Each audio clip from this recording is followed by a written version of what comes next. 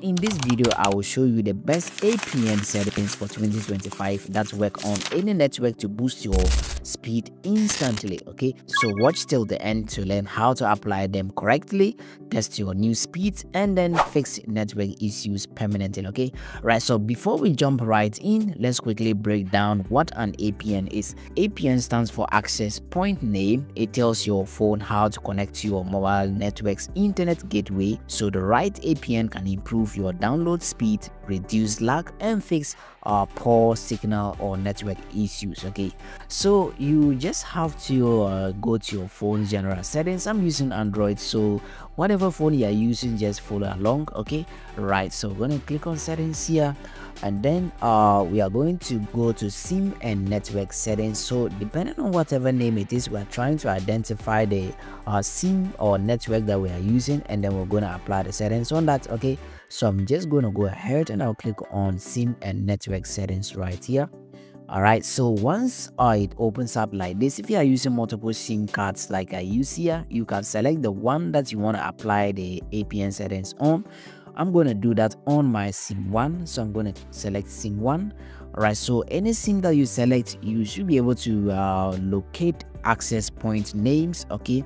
Right it is here. So i'm just going to click on that so this is the default apn settings for my uh, sim card okay?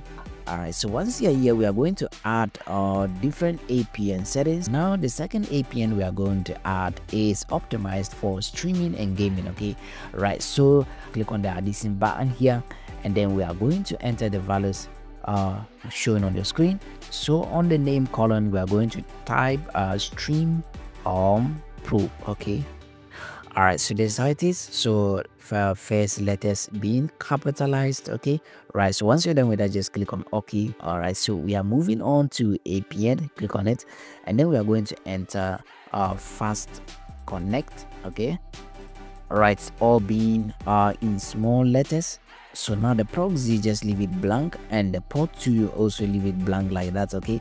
All right so scroll all the way to uh bearer and click on it. All right so just uncheck the unspecified and then select uh, lte that is light version.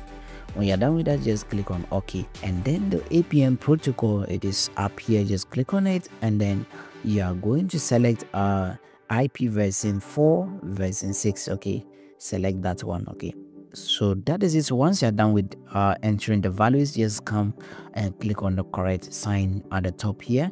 And now you can see this uh, new apn being added to the list.